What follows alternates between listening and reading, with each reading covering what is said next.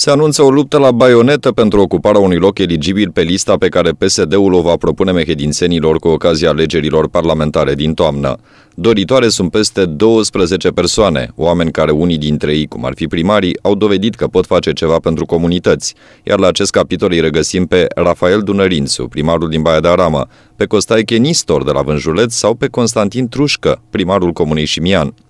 La un loc călduț în Parlament mai visează și oameni noi apăruți în formațiunea politică cărora nu li s-a uscat nici măcar cerneala pe carnetul de membru de partid, cum ar fi Doru Dumitrescu, Dorel Stăicuț sau Manuela Praja, unul dintre cei mai titrați dascăl ai județului, dar cu o experiență extrem de mică în politică.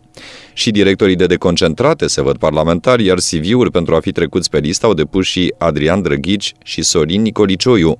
Printre doritori se mai regăsește și Alin Chirilă, angajat al Consiliului Județean, dar și Constantin Zimțea, fost activist comunist și unul dintre cei mai vechi membri ai PSD Mehedinți. Parlamentar se dorește a fi și Valentin Popescu, fiul controversatului om de afaceri din Orșova Constantin Popescu, judecat pentru fapte de corupție și care ocupă din 2012 funcția de director al DGASPC Mehedinți. Pentru mulți, ocuparea acestui post a ridicat încă de atunci un mare semn de întrebare, așa că nu puțin sunt cei din PSD care cataloghează drept tupeu dorința lui Popescu Junior de a reprezenta județul Mehedinți din poziția de deputat.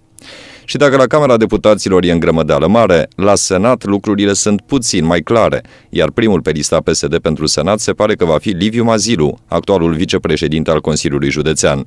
Celor 12 doritori mai trebuie adăugați și ceilalți deputați încă în exercițiu ai PSD Mehedinți, Șerban Nicolae, Rodin Traicu, Marius Manolache și Petre Daia, și ei dornici să-și continue mandatele. Nu este exclus însă ca surpriza cea mare să vină de la București, iar Liviu Dragnea să-și impună proprii candidați la alegerile parlamentare din județul Mehedinți, așa cum de altfel s-a mai întâmplat.